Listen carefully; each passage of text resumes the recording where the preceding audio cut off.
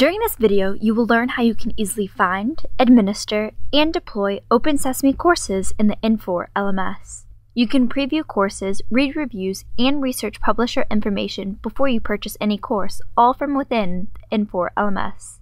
All OpenSesame courses have been tested and confirmed to properly record completions and scoring. Within the course marketplace, in the Infor LMS, you can easily find OpenSesame courses by utilizing the searching capabilities in the top left corner. Once you've searched for a general course, you can filter your results on the left hand side.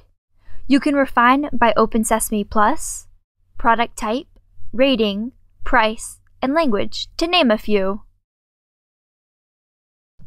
Additionally, you can filter by broader categories and or industries by hovering over courses to the right of the search bar.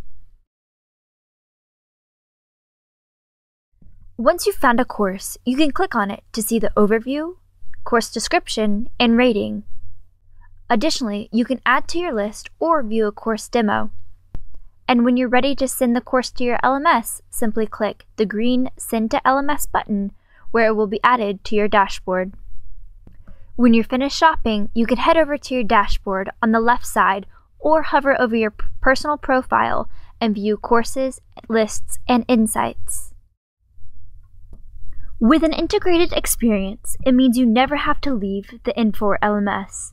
To learn more, contact the OpenSesame team at 503 808 1268 or info at opensesame.com.